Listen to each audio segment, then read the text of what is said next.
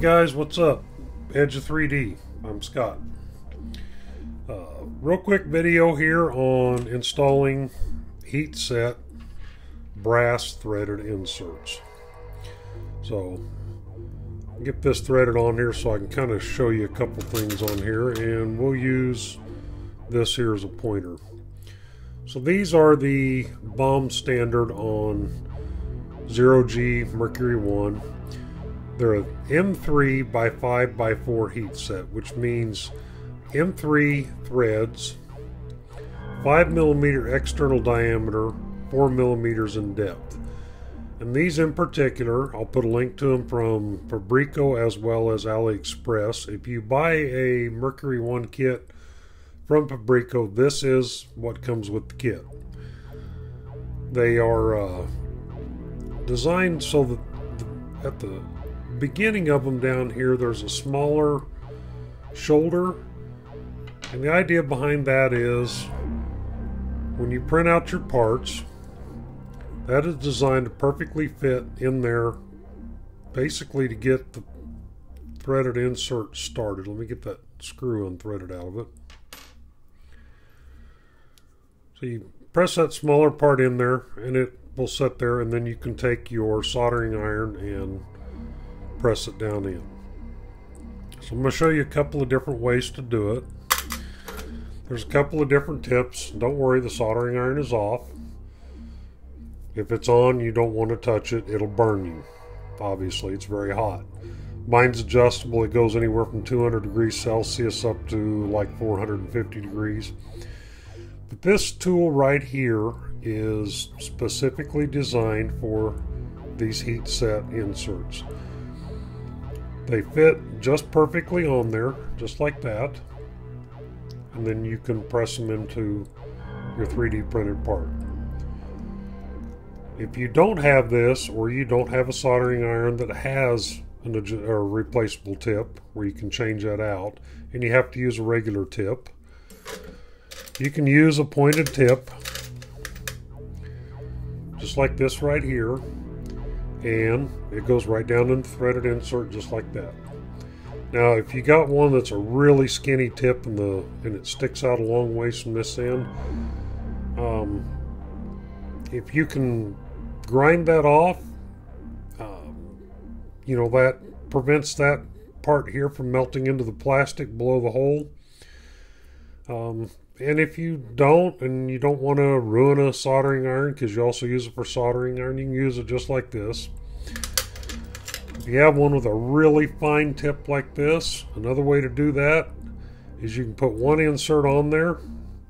See how far that sticks through? If I can get it to focus here.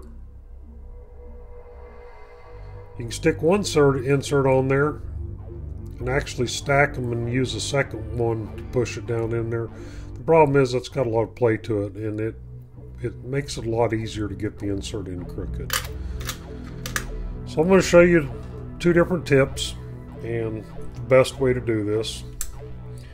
Now my soldering iron is adjustable so typically I run it at about 250 degrees for setting parts into ABS or actually any any plastic but 250 degrees works uh, for freedom units, we'll let it get up temperature here. That's 485 degrees Fahrenheit, 257 degrees Celsius.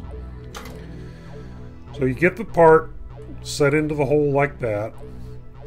Take your soldering iron tip, hold it on there, just put a little gentle pressure on it, and then as it heats up, you just push it down until it sets flush. There you go. That's all there is to it. Do a couple more here.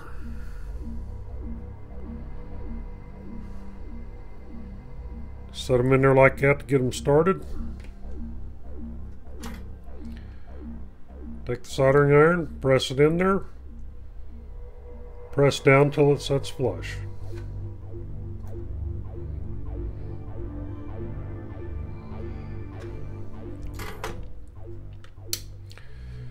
Now, give me just a minute here. I'll change out the tip on there and I'll show you doing it with the regular tip. Okay, we're back. I've got the tip changed out on the soldering iron. Sorry, the camera doesn't like to focus on small objects, but uh, there you go. Just a regular soldering tip. This is kind of a broad tip. It's got a fairly steep uh, angle to it. We'll go ahead and get the temp, uh, soldering iron back up to temperature again. Again, mine's set at 251. We'll let it come up to temperature until it gets close. I'll go ahead and get three of these ready to install.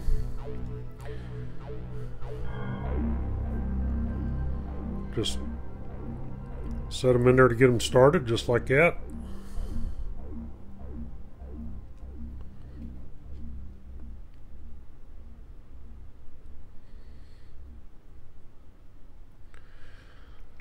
Uh, tip sticks out a little bit and these plates aren't real thick so I'm going to set that one on top of another one just so that it has room for the tip to pass through. But just like before, take the soldering iron, drop it in the heat set, just hold pressure on it. This will take just a little bit longer because there's not near as large a contact surface with the heat set. But just push them down until they set flush.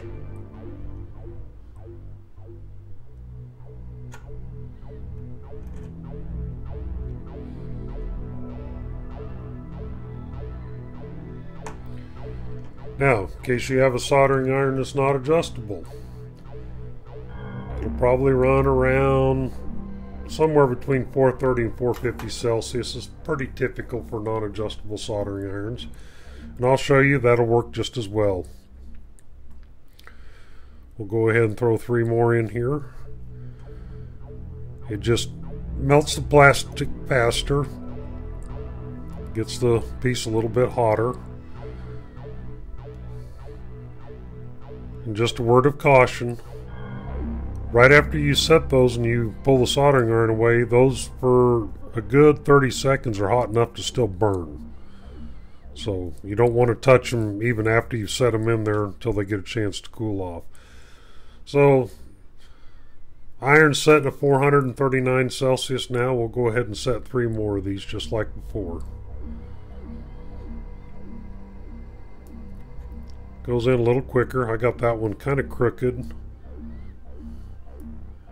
You'll see they drop in faster. Now that one got stuck in the soldering iron. That's a problem. You don't want to grab it and just pull it off there. You want to use some kind of a tool to get a hold of them. Lift it off there like that.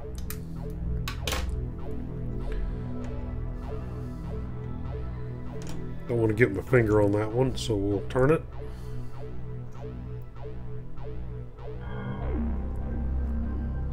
And that one's stuck on there as well.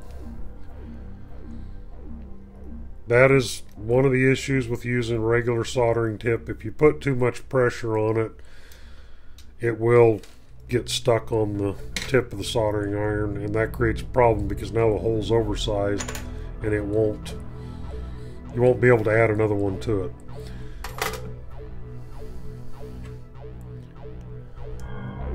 Now I'm going to purposely set this one crooked and show you a method that I use to straighten them out. So we're going to run it in there and it's set crooked. If you look at that, it's in there crooked. Here's what I do to correct that. Get a long M3 screw, get it ready. Take and hold the soldering iron in there. Get it good and hot.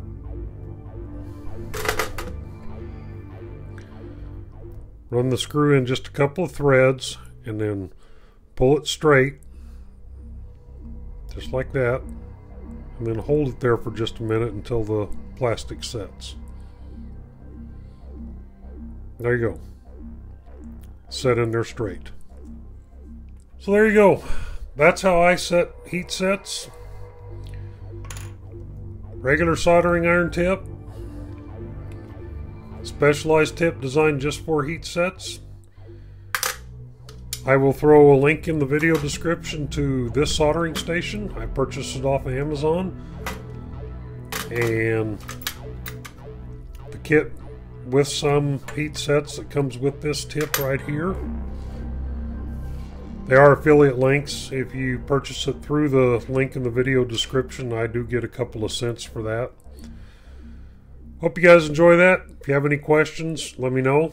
Have any concerns, comment down below, right down here in the comment section. Thanks for watching. Hope this helps. Enjoy your Mercury ones. Peace out, guys.